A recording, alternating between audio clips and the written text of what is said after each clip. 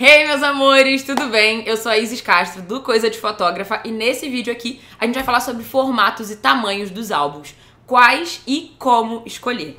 Eu vou dividir com vocês tanto os tamanhos e formatos que eu trabalho, como também o que você deve fazer para escolher as características dos seus álbuns também. Primeira coisa, gente, é uma questão é uma decisão por questão de gosto, de estética. Você pode escolher qual você quiser, não tem certo e errado, melhor ou pior tamanho ou formato tá? O que você precisa saber é, seus clientes só têm a possibilidade de comprar as coisas que você oferece. Então, se você oferece algo que você não curte tanto, é esse que as pessoas vão comprar porque é o que tem. Ou elas não vão comprar porque não viram valor naquele material. E aí você precisa melhorar sua parte de vendas dos álbuns. E também tem vídeo aqui no canal sobre isso, eu vou deixar aqui na descrição. E por que, que eu falei isso de seus clientes só vão comprar o que você oferece? Porque uma vez eu lembro que uma menina me escreveu falando: aí, seus álbuns quadrados são lindos, pena que os meus clientes só querem o horizontal. Aí eu perguntei se ela oferecia o quadrado também e ela falou que não, que só tinha a opção do horizontal. E eu fiquei, gente, como que seu cliente vai adivinhar que você gostaria de trabalhar com outros formatos e que esteticamente você recomenda outro tamanho, outro formato diferente do que aquele que você está vendendo?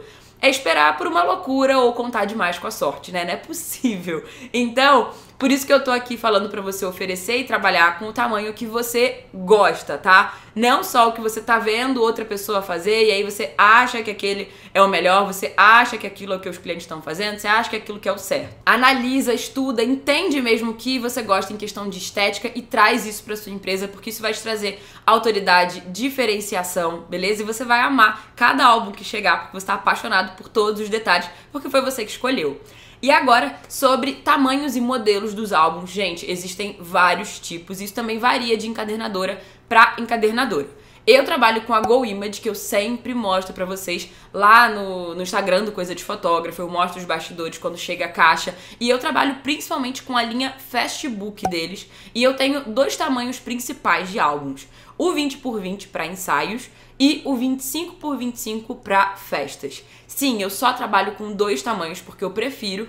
E se o cliente quiser outro tamanho, ele tem a liberdade de me dizer se ele gostaria de algum maior ou menor, e aí eu digo, é, digamos que eu tenho duas outras opções ocultas para esses casos, que são o tamanho 15 por 15 e 30 por 30, que não estão nos meus orçamentos. É realmente para casos bem específicos, quando a pessoa me pede algo maior. E tem o 15 por 15 também, que às vezes a pessoa quer uma réplica para entregar para os avós, enfim, ou ela quer algo mais delicado mesmo para fazer uma coleçãozinha. Então, observa como, mesmo eu tendo quatro opções de tamanhos, eu trabalho com um formato quadrado em todas elas, porque isso ajuda o meu cliente a não ficar ali com zilhões de opções para decidir, para ter que escolher, porque isso faz ele postergar a decisão e querer decidir depois com mais calma e ele não compra o álbum, tá? Pelo menos isso é o que eu aplico aqui na minha empresa. E também porque o quadrado é o que eu mais amo, tá? Então, é, olha o que você gosta mais esteticamente. Então define o que você gosta e evita de colocar zilhões de opções para o seu cliente ter que ficar combinando, pensando para decidir. Porque ó, pensa comigo, em questão de formato tem três, né? Quadrado, vertical e horizontal. Aí, vocês estão vendo alguns exemplos, vai passar aí algumas diagramações em cada um desses álbuns, porque a diagramação fica diferente. E aí, como eu falei, vai de acordo com o seu gosto definir o que é mais bonito para você trabalhar. E aí tem a questão dos tamanhos, que tem infinitos dentro dessas três possibilidades de formatos. Por exemplo, tem o 20 por 20, como eu falei. Se você for trabalhar num formato horizontal, poderia ser um 20 por 30. Se for o 30 por 30, pode ser um 30 por 40. Tem álbuns maiores, como 40 por 40, 40 por 60.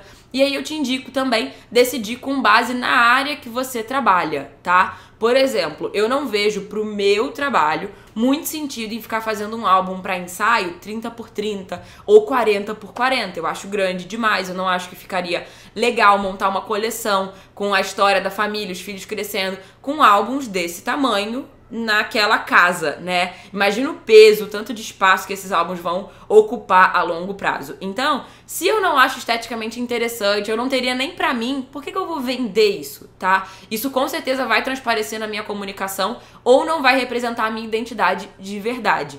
Mas se eu trabalhasse com casamentos, por exemplo, tamanhos maiores provavelmente seriam mais atrativos, eu ia achar mais interessante também. Então é tudo uma questão de equilibrar estética seu gosto pessoal, a área que você trabalha e o seu estilo de trabalho. E para facilitar a sua vida, para te ajudar a decidir os tamanhos que você vai trabalhar aí na sua fotografia, eu trouxe algumas sugestões que eu acho interessante e que às vezes eu até aplico no meu trabalho e você só vai precisar adaptar o tamanho escolhido ao formato ideal que você quer trabalhar, beleza? Como eu falei, se eu indicar um 20 por 20 e você quiser trabalhar com horizontal, você adapta aí para um 20 por 30, por exemplo. Combinados? Do menor para o maior, eu recomendo os tamanhos 15 por 15 ou 20 por 20 para ensaios.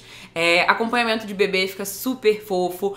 É, os ensaios mesmo de família, de gestante. Se você trabalhar também com álbuns de viagens dos seus clientes, você pode fazer nesse tamanho. Se você trabalhar com casamento, você vai fazer aquele álbum grandão para os seus clientes, mas às vezes eles querem um tamanho menor para presentear os pais ou os avós, e aí fica super fofo com o 15 por 15 ou o 20 por 20. O que eu trabalho aqui na minha empresa é o 20 por 20 oficialmente, mas eu tenho a opção ali também do 15 por 15 caso o cliente queira algo menorzinho, tá? O 15 só acaba também diminuindo muito o número de fotos por página para não ficar tudo ali muito pequenininho, então eu evito de colocar muita foto por lâmina. Outro tamanho que eu recomendo muito é o 25 por 25, que eu uso para os eventos infantis, como batizados, chás, festas de aniversário. Cabe um número ótimo de fotos por página, ele já fica mais robusto para um evento, mas não chega a ser um exagerado, um enorme, um trambolho, né? Até aproveita e me diz aqui nos comentários se você tem dúvidas e gostaria de um vídeo sobre quantidade de fotos que cabem mais ou menos em cada álbum. Comenta aqui, tá?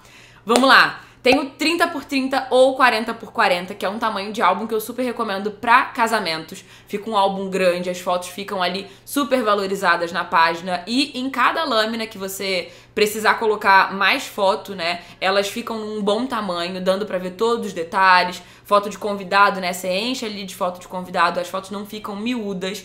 E se você trabalhar com eventos infantis, nada te impede de ter esse álbum maior como o oficial ou como uma carta na manga, caso o cliente queira algo maior, por exemplo, do que o 25 por 25, como é o meu caso. Bom, agora eu te sugiro fazer esse exercício de anotar, entrar no site das encadernadoras, conhecer, ver preço, fazer essa pesquisa mesmo, para você identificar quais os tamanhos e formatos você quer trabalhar, beleza? Eu espero que esse vídeo tenha te ajudado e se você quer aprender mais sobre festas infantis, quer ver na prática como funciona a diagramação dos meus álbuns e entender também como eu vendo, como aumentar o lucro da sua empresa trabalhando com álbuns, o curso que eu falo mais sobre isso é o curso completo de festa infantil, que eu vou deixar o link aqui na descrição e você pode ver todas as informações sobre ele para participar da próxima turma, beleza? E eu falo lá dentro sobre álbum, sobre flash, sobre o passo a passo da festa infantil, o cronograma, ele é bem completo mesmo e eu tenho certeza que vai te ajudar ainda mais a crescer na sua fotografia, beleza?